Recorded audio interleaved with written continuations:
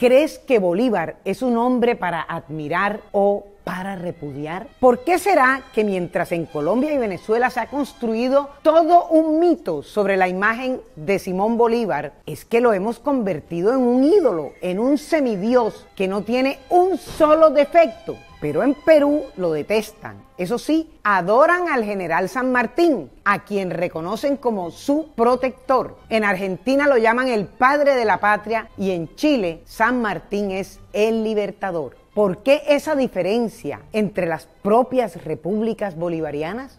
¿No será que hemos mitificado o idolatrado demasiado a Simón Bolívar? Primero vamos a ver algunos de los muchísimos logros positivos de Bolívar, que es la razón por la que en Colombia y Venezuela lo veneramos y le llamamos nuestro libertador. Y después vamos a ver las razones por las que Bolívar podría no ser considerado un libertador, sino un vil y despreciable tirano.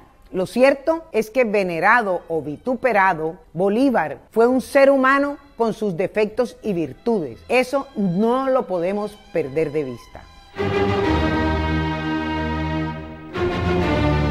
Lo primero es que es indudable que Bolívar le dio la libertad definitiva a la Nueva Granada, actual Colombia, y desde aquí salió a fundar la Segunda República en su patria Venezuela. Es indiscutible que ambas naciones querían la libertad y que estaban luchando por la libertad pero necesitaban un liderazgo fuerte y unificado, que fue lo que el libertador les brindó pero veamos por qué se mitificó a Bolívar. Lo cierto es que en Colombia Bolívar se comenzó a convertir en un mito para salvaguardar los intereses de las élites dominantes, principalmente de las élites políticas del país. Según una de las teorías, la mitificación del libertador comenzó con la creación de los partidos políticos a mediados del siglo XIX, cuando el Partido Conservador se apropió de la imagen de Bolívar y el liberal de la imagen del general Santa sin desechar ese argumento, que es muy válido, pienso que después de tantas guerras civiles que tenían a estas naciones completamente fragmentadas, las élites se vieron en la necesidad de crear una figura que unificara a la nación es que las élites nunca son tontas. Además tenían que cuidar sus intereses porque mandaban y además desde siempre se han lucrado de la ingenuidad del pueblo. Lo primero era construir el relato de un héroe y nadie mejor que Simón Bolívar, por lo que crearon un personaje perfecto que no tenía un solo defecto.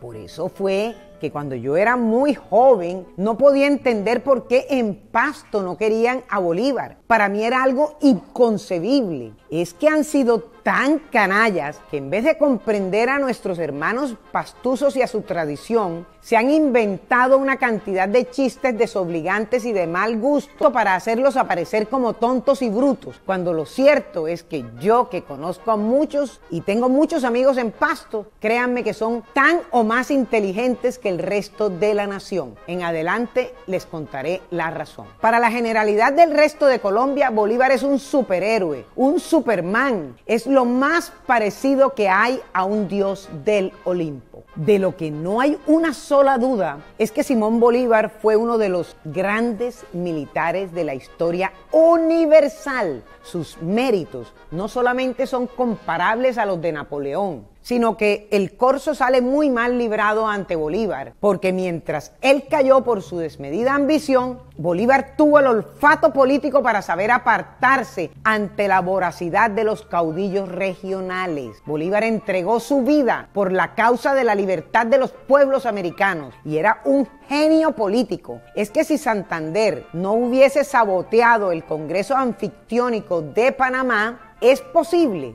que hoy Hispanoamérica, o al menos la América Meridional, se hubiese podido dar la oportunidad de crear una gran nación equiparable a los Estados Unidos de Norteamérica. Bolívar comandó 472 enfrentamientos militares y solamente fue derrotado en seis. Eso es un récord difícilmente igualado por otro mortal. Comandó 79 grandes batallas y corrió grave riesgo de morir en 25 de ellas y le dio la independencia a seis naciones. Cabalgó 123 mil kilómetros, mucho más que lo que navegaron Cristóbal Colón y Vasco de Gama juntos. Bolívar fue jefe de Estado en nada menos que en cinco naciones, las mismas que libertó. Miren además estos otros datos que son francamente asombrosos. Recorrió 10 veces más distancia que Aníbal en sus campañas militares. Aníbal es considerado por algunos historiadores como el mejor general en la historia militar de la humanidad. Cabalgó tres veces más que Napoleón y el doble de nadie menos que el gran Alejandro Magno. Bolívar se mantuvo combatiendo el doble del tiempo que George Washington y además cubrió siete veces el territorio que el norteamericano. Pero también hay que agregar que a Bolívar le tocó adelantar sus campañas en una geografía que era muy escarpada, muy distinta y muchísimo más complicada que las condiciones que le tocaron a Washington. Escribió 92 proclamas en las que plasmó sus ideas sobre la libertad, así como 2.632 cartas que se conservan gracias a la devoción de Manuelita Sáenz. Y seguramente fueron muchos más, pero se perdieron. Muchísimas debieron haberse perdido. Pero lo más asombroso es que muchas de ellas fueron dictadas al mismo tiempo en idiomas distintos a diferentes amanuenses. Eso es increíble. Un dato valioso sobre Bolívar es que jamás conquistó un territorio. En su récord solamente hay liberación de pueblos y de naciones. Adicionalmente, sobre su obra escrita, lo importante no es ni siquiera la sorprendente cantidad, sino la profundidad de sus propuestas y de sus ideas sobre la libertad de los pueblos. Yo creo que hasta este momento ustedes no dudan que lo que acabo de describir es al menos un semidios, pero veamos ahora algunas de las razones por las que francamente Bolívar no podría ser el héroe que veneramos los colombianos y los venezolanos. Pero antes de continuar analizando si Bolívar fue un libertador o un tirano, te recuerdo suscribirte a nuestro canal, siempre como Historias de Adelina. Síguenos.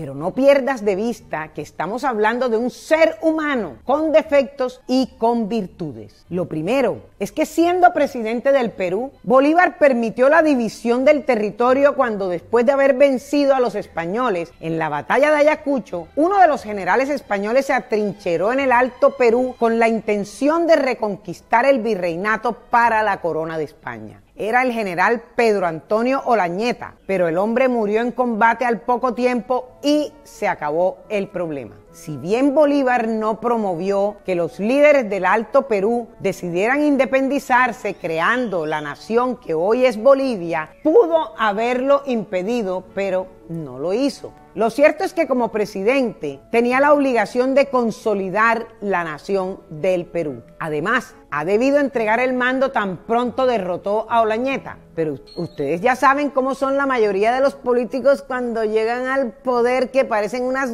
garrapatas succionando la sangre de un pobre perro. Este episodio no es una muestra ni de padre de la patria ni de libertador, es una muestra de un tirano. Lo segundo es la constitución boliviana con la que Bolívar se erigió como presidente vitalicio del Perú. Esto disgustó tanto a los peruanos, es que ellos querían un gobierno menos centralizado y también le tenían temor al creciente poder de Bolívar, por lo que se le rebelaron y convocaron a un Congreso General Constituyente que Solo seis meses después de promulgada la constitución boliviana ya se estaba reuniendo. Eso fue rapidito. Eso tampoco es un acto ni de un libertador y mucho menos de un demócrata. Eso es solamente digno de un tirano y de un ególatra. En tercer lugar, los detractores de Bolívar dicen que era racista y el principal argumento es el fusilamiento del general Manuel Piar, que era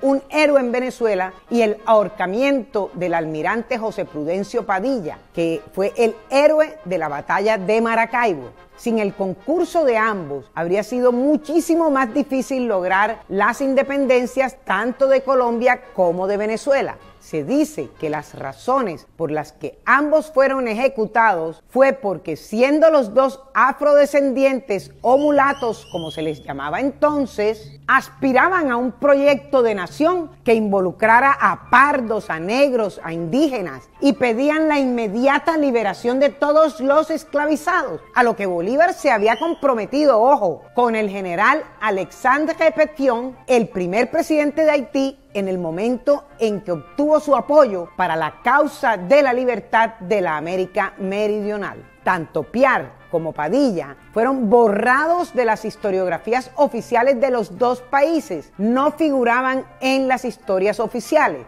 Así no actúa un demócrata, así no actúa un estadista. Esta es la actuación de un tirano racista. Esa es otra faceta muy pero muy oscura de Simón Bolívar. En cuarto lugar está la tristemente célebre Navidad Negra de Pasto, conocida también como Noche de Rifles o Navidad Nefanda, que es la peor de todas las embarradas que cometió Bolívar durante su vida. Es el episodio más oscuro de toda su vida. El problema era que, a pesar de que hacía tres años que se había declarado la independencia definitiva de España, Pasto se mantenía aún como realista y se había convertido en un problema gravísimo. Es que era un punto estratégico porque era la única vía para llegar a Quito y al sur del continente, por lo que era necesario despejarla. Pues el Perú y el Alto Perú o la actual Bolivia, si bien habían declarado su independencia, los españoles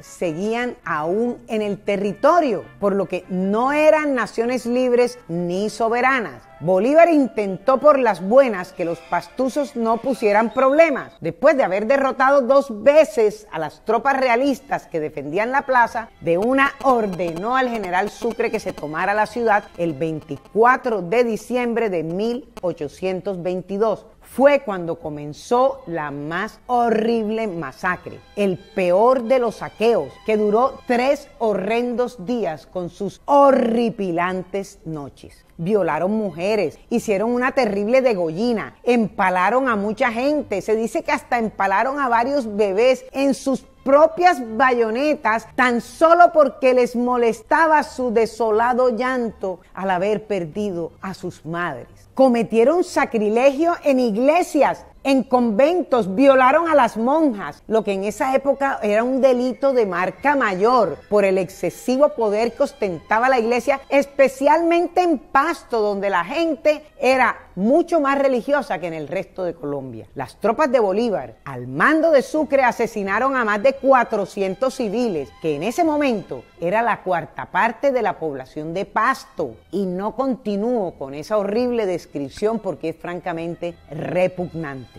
Es más, se dice que Sucre ordenó detener la masacre ante la insistencia del entonces coronel José María Córdoba, quien desde el primer día desaprobó indignado la masacre que estaba cometiendo el ejército libertador. Al final les dejo nuestro video sobre esos terribles hechos. Y no me refiero a la supuesta traición a Miranda, así como tampoco al decreto de guerra a muerte, que es censurado por algunos, pero francamente yo personalmente pienso que fue necesario en su momento. Aunque a pesar de todo esto, Bolívar ha sido la figura más grande y más importante de toda la historia de las seis naciones bolivarianas. Ojo con eso, la figura más importante de todas. Bueno amigos, hasta aquí esta historia sobre si Bolívar fue un libertador o un tirano. Ahora me gustaría saber qué piensan ustedes. ¿Creen que Bolívar fue un libertador, un hombre grande, un gran militar, un genio político? un gran escritor o simplemente un vil y despreciable tirano.